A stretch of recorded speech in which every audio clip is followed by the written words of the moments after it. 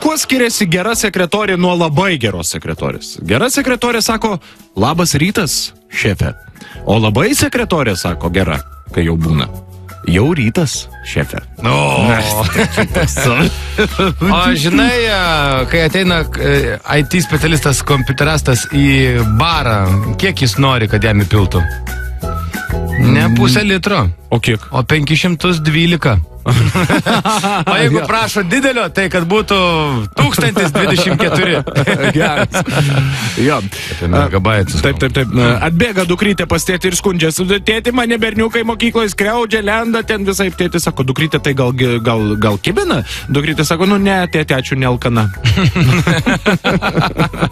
Dar, dar vienas lempinis visiškai, bet man patiko. Ryte Vilniuje į gatvę išbėgo šernas. Ei, jam nieko neatsitiko, pateko į kamštį. ir jis įsivaizduoja, stovi šernas, ukmergės gatvėje.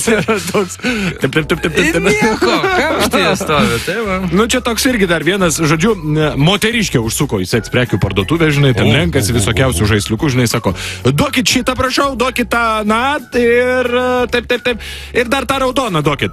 E, Pardavėjas pažiūrėjo, pirkėjas sako, nu, žinokit, ponė, šito negalima, čia gesintuvas.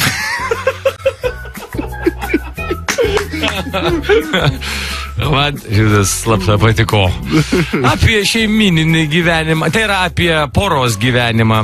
Mergina ir vaikinas ginčas.